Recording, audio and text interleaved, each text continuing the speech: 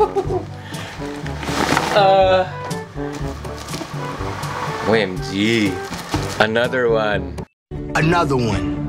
What is up guys? Jonathan Pineda here, back again with another episode of the vlog. Today's video, we have another sneaker to unbox and this one is courtesy of Adidas Philippines. A huge, huge thank you to my Adidas family. Oh, my Adidas family na!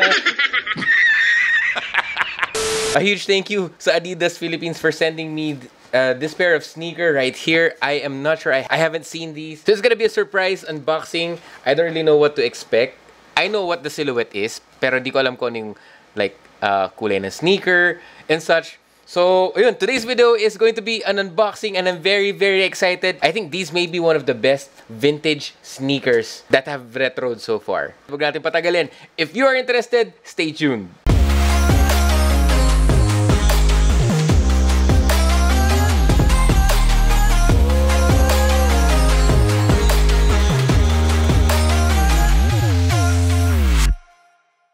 Thank you so much for checking on this video today, guys. And I do hope you guys are having a wonderful day. If you're new here, consider subscribing to my YouTube channel for more videos just like this.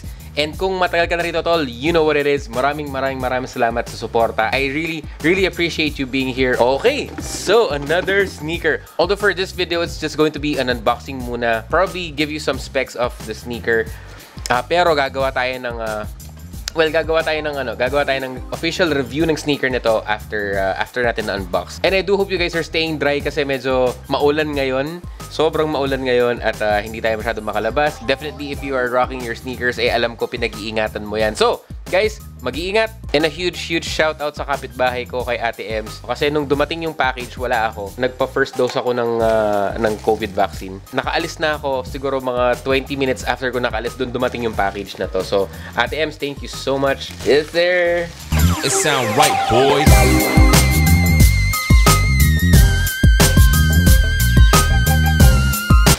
Okay. So, we've got that out. Finally, so we have the sneaker right here. Kaso tinape yung box. So anyways guys, let's go ahead and open. So we do have a blue Adidas sneaker uh, the, with the three stripes. Alam naman natin to. These are, kumbaga kung ganito ang ano niya, kung ganito ang box niya, most definitely these are the uh, Adidas Originals, I think, in my opinion.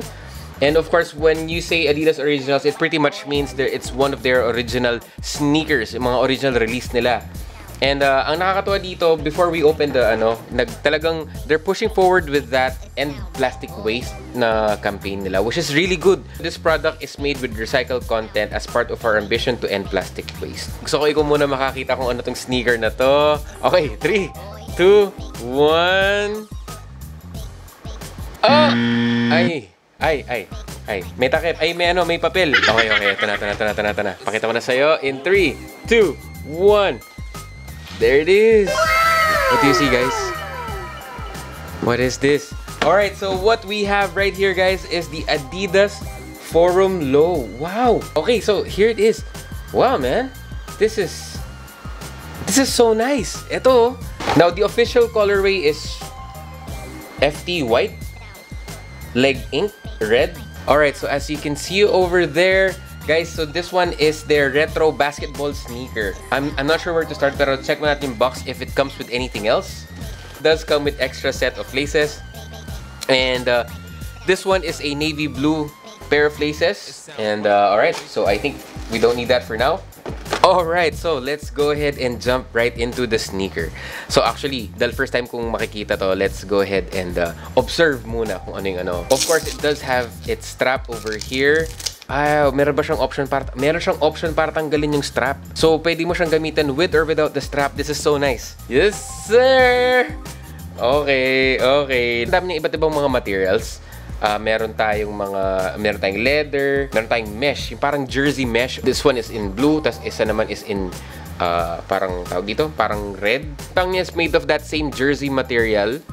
So, same jersey material in navy blue, tas meron siyang patch with the Adidas Trefoil logo. So, iba't ibang colors. Meron siyang red, blue, uh, yellow, and such, no? Navy blue yung sock liner. Ang ganda ng colorway.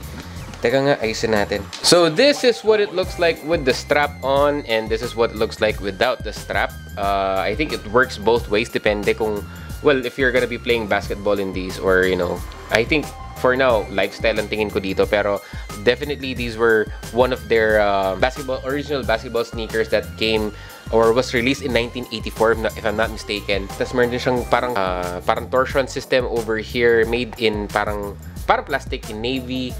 And then, ang ganda lang ng build quality nyo. Leather quality is parang medyo synthetic leather. Of course, this does not carry boost or any of the newer technology kasi nga, ret, parang ito yung uh, isa sa mga older basketball sneakers na meron sila before. And the overall colorway is just dope, man. Navy and red. That's super clean. It does carry a standard Adidas Forum outsole in white, all in white, even in the bottoms, all in white as you can see there. So back in 1984, the Forum was a basketball shoe ahead of its time in design and unmatched in performance. After its release, Forum also saw a jump in popularity in the street and became one of the first performance sneakers to cross over and create what we would later consider as a sneaker culture. Today in 2021, of course, it is about to make a comeback. Kumbaga ito yung isa sa mga pinaka hit na basketball sneakers in the 80s, which then made a lot of NBA players to, uh, you know, to start off with Adidas. And if you know, you know, there was someone who was signing up for this brand. First impressions of the sneaker, very, very clean. Very, very clean silhouette. Good job in returning these guys uh, to the market. Even if these guys don't utilize the newer technologies, they made sure to put premium materials like into the sock liner, into the insole, just to make this more comfortable than it was when it first released. Actually, runs true to size. Go with true to size. So if you're wondering, uh, although this one will be part of the official review, these guys would fit true to size. Ang ganda ng sizing niya, hindi siya yung ano, hindi siya yung parang kulang or sobra sa size niya. I was given a 10 and a half and that's how I like my sneakers. A little bit roomy lang on the toe box. But overall, man, these guys are one clean pair of sneakers. Pag medyo okay na tong apartment ko, gagawa ko ng how to style the Adidas Forum Lows. Ang ganda ng, like yung color combination niya overall, red, navy blue, yellow, talagang alam mo yung vintage vibe talaga siya. Although, syempre, it's not yellowing as of yet. Kumbaga parang at the moment kasi diba sikat na yung mga ni-yellow na nila yung midsole para sumabay yung vibe niya sa well sa of course with the to match the age of the sneaker I do think naman that this will uh, yellow on its own in time yung pagkakagawa ng sneaker is very robust and I like how bro look at that traction one of the few things na hinahanap ko talaga sa sneaker is very good traction alam mo I must say I must say yung mga vintage vintage na sneakers, bumabalik sila sa style ngayon. Well, actually marami naman mahilig talaga sa vintage eh.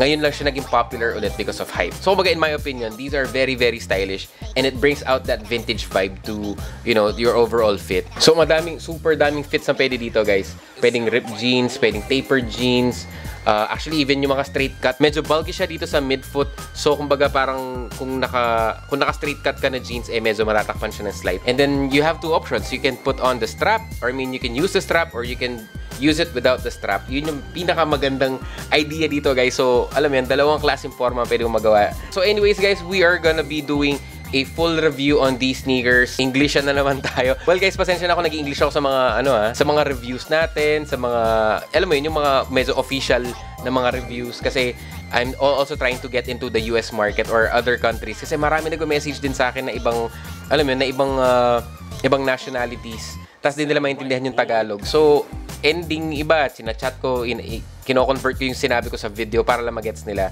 And at the same time, merong iba na nag-reach out talaga na, alam mo yun, para English ang video. So, that's why on official reviews, guys, I'm doing it in English. Pagpasensya nyo na ako, di ganun ka okay ang English ko. Pero I, I'm trying my best.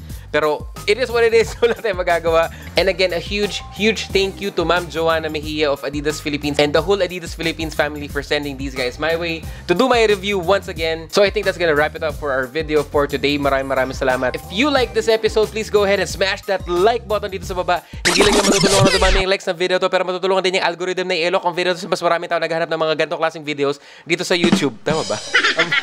And at the same time, kung bago ka dito, consider subscribing to my YouTube channel for more videos just like this. Ah! Bling, yo! Bling!